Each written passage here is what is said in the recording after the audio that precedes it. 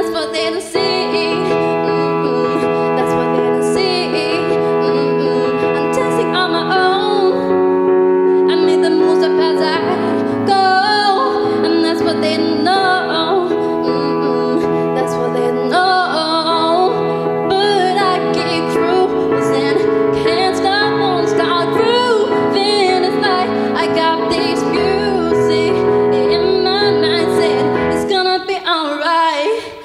The play's